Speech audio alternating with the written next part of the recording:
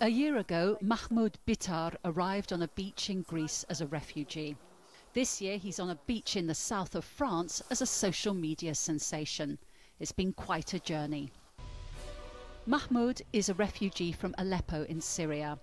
He built up a massive internet following by charting his journey from Turkey to Greece and ultimately to Sweden.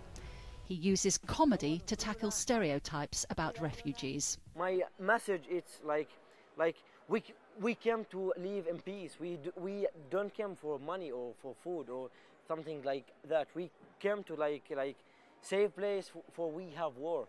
But we, we don't come for like for money or for food or something. We can work and we can pay tax like everyone living, living here.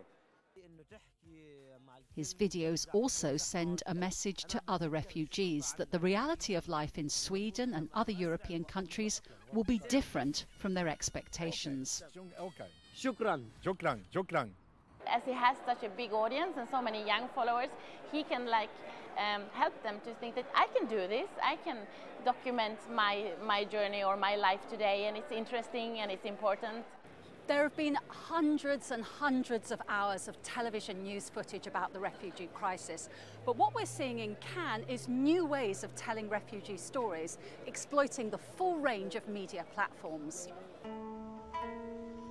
The UN Refugee Agency is using film as a way for refugees to speak directly about their experiences. This is the story of Ragad, a young woman who fled Syria with her parents after her husband was killed in a missile attack. The family had a terrifying experience with people smugglers and are now living in Cairo. There are various ways of addressing the refugee situation. One is to make films about the refugees, but we also find it more and more important to have the refugees tell their own stories.